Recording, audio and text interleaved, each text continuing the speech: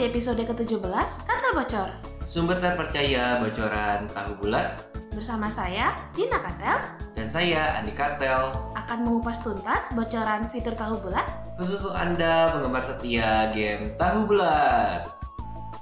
Halo teman-teman, terima kasih banyak loh buat teman-teman yang udah voting desain karakter buat Andi dan Dina.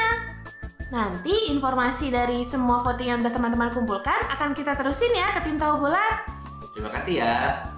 Oke deh, mari langsung kita mulai aja. Di episode kali ini kita punya dua bocoran, satu dari Dina, satu dari Andi. Pertama-tama langsung dari Andi aja ya. Nah, bocoran pertama ini ada hubungannya sama pertanyaan dari Kak Abid Maulana di beberapa video sebelumnya. Min, saran nih, nunggu buka pedagang di lokernya itu terlalu lama. Kalau bisa, pakai peridot buat buka langsung. Terima kasih, Min. Dan semoga sarannya dipakai. Terima kasih banyak ya Kak Abid atas sarannya. Sarannya dipakai kok. Nih bocorannya. Sebelumnya, di halaman loker ini, tombolnya berupa tombol ambil berwarna abu-abu ketika kakak sudah lagi menunggu pedagangnya muncul. Nah, sekarang tombolnya berubah jadi warna hijau dan ada lambang peridotnya. Pada tampilan baru ini, cukup dengan menekan tombol dan membayar peridot sesuai jumlah yang dibutuhkan, lowongan kerja bisa langsung diambil hasilnya. Ditunggu ya fiturnya nanti. Makanya rajin-rajin selesaikan tantangannya teman-teman biar punya banyak peridotnya. Nah, bocoran berikutnya dari Dina. Nih, Dina dapat gambar baru nih dari tim tahu. Andi, coba lihat Andi. Apaan nih? Kok gambarnya banyak abu-abunya gini ya? Apa sih ini? Ini itu kamera tahu Andi. Jadi Dina dikasih tahu sama tim tahu kalau ini adalah fitur yang ada di kamera tahu yang sedang dikembangkan. Oh, jadi yang abu-abunya itu nanti jadi foto gitu ya? Iya, jadi kita bisa selfie sama Akang. Oh, pantesan tangannya akan nggak kelihatan ya? Iya, karena Akang yang lagi megang HP. Nih, Dina punya foto berikutnya nih. Oh, ini karakter pedagang tahu bulat yang legendaris itu kan? Iya, namanya Bako Sucan. Dengan kekuatan hati akan mengambil selfie. Kamu emangnya udah dapet ini? Ini kan karakter legendaris. Belum, makanya Dina selalu buka loker baru biar dapetin Bako Sucan. Wuhu. Makanya kumpulin peridotnya ya. Tapi nggak apa-apa kalau nggak punya. Toh nanti kan bisa foto bareng. Bakal bisa nggak foto bareng kalau belum punya? Aduh, makanya Dina sangat berharap nih kamera tahu bisa segera dikembangkan.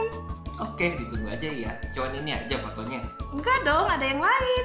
Nih, Ini pedagang tahu bulat yang mana? Kok kayak lumpur ya? ini hasil hasil masakan pedagang tahu bulat loh Andi. Ini tuh tahu bulat, tapi hujan tahu bulat. Oh, oh itu tumpukan tahu bulat. Iya kan kalau kita di dunia nyata nggak mungkin ya beli tahu bulat sebanyak ini. Nah jadi ada frame yang isinya hujan tahu bulat. Oh, bagus juga ya. Eh, tapi kayaknya Andi kenal. Ini gambar kayaknya dipakai dari trailer. Wah Andi hafal nih sama gambar yang ada di trailer.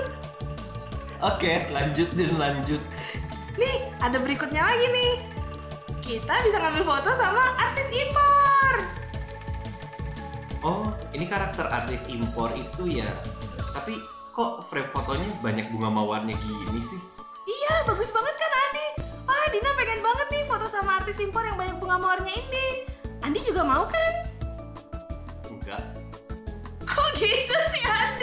Yaudah deh, kayaknya frame yang ini lebih cocok buat Andi. Nih, Wah, Mbak Bangkir. Baguslah, banyak uang, banyak peridot. Bisa dipakai buat nyempetin locker nih. iya tapi Andi, lebih baik kita menyelesaikan tantangan dulu.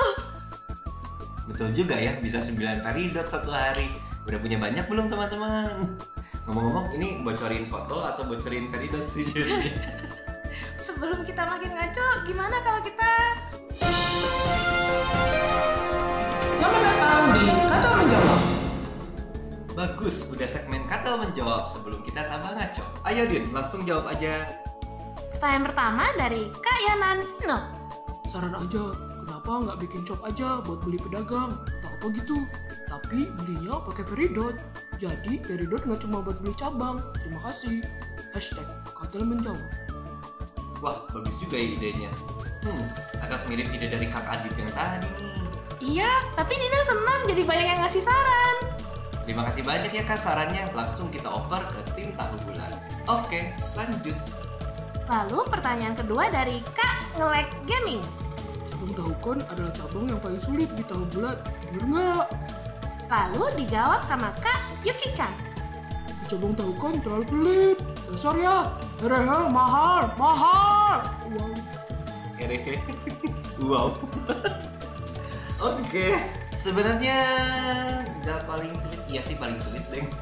Tahu kan itu memang cabang paling sulit. Kalau main gampang ada cabang festival. Dua-duanya bermanfaat kok, tergantung kebutuhan aja. Kakak butuhnya yang mana? Kalau pengen peridot ya tinggal di tahu kon. Semangat ya kak. Lalu pertanyaan ketiga dari Kak Rayon S. Mau nanya, emang kalau kelasnya di tahu bulat yang dulu nggak bisa di ke yang baru ya? Bisa kok kak. Ayo dicoba dulu aja. Harusnya lancar-lancar aja. Kalau kakak ada masalah lebih lanjut tentang melawat data dari cloudnya, jangan ragu untuk menghubungi tim on games ya. Ada di mana din? Ada di Game Master app on stripgames.com. Apabila ada masalah yang lainnya juga, langsung hubungi saja ya. Oke deh, kayaknya gitu aja kali ya din. Iya, cuma ada segini. Udahan dulu kali ya teman-teman. Syukurlah episode kali ini gak kepanjangan. Dan seperti yang episode sebelumnya. Oke deh, kalau gitu mari kita akhiri saja. Sampai jumpa di Katel Bocor minggu depan. Sumber terpercaya bocoran tahu bulat Bersama saya, Dina Katel. dan saya Andi Katel. Eh, eh, jangan lupa subscribe dan like videonya ya. Dadah.